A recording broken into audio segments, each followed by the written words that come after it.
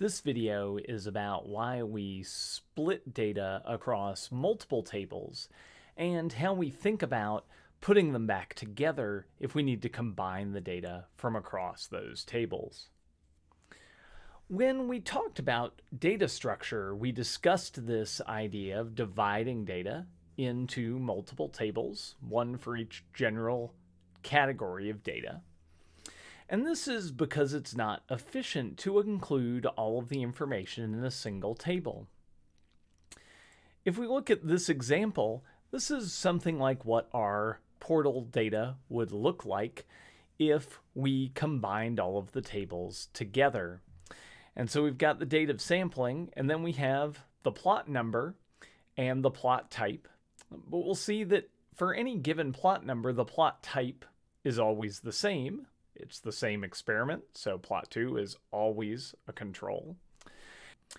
And we also have the genus and species information. And again, anytime it says albigula over here, it's going to say neotoma over here, because this is just the combined name for a species.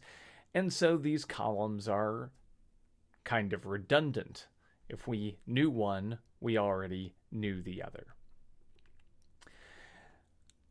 And that both takes up a lot more space in memory, but it also means that anytime we need to change something, we potentially have to change it in thousands of places uh, instead of just changing it in one. And we can avoid this kind of redundancy by using multiple tables, with each table containing a single kind of information.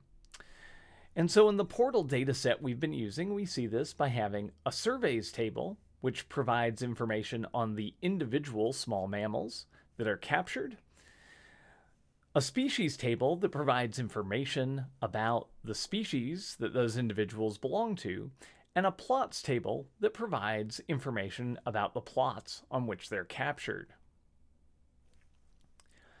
This is nice because, for example, if a species name changes, which is very common, instead of having to change it hundreds or thousands of times in a big table, we can go to the species table and change it, change it once while leaving the species code the same. And in fact, we can see an example here where that's happened. Uh, this code is PI because it used to belong to a different genus. We do, however, often need to be able to put the data from our separate tables back together for an analysis. We might want to do an analysis at the genus level, in which case we'll need to know the information about the genus. And the way in which we do that is using something called a join, which we'll see how to do in the next video.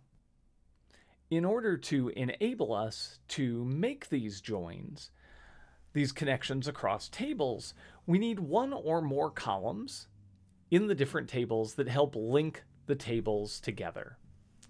And so in the case of the portal data, that's the species ID column in the species table, which we also have in the surveys table. So if the species ID is NL here, it links to the species ID NL here, and that allows us to attach this extra information that it's a Neotoma albigula and it's a rodent. And likewise, if we look in the plots table, we have a plot ID here, which is also the same as in the surveys table. And so we know that uh, if the plot ID is 2 in the surveys table, we know that it's a control plot. So that's the basic idea behind why we have separate tables and the kinds of information that we need in those tables, a linking field uh, to allow us to put them back together using a join. Why are you slow? Why are you tired? Why is my voice so low?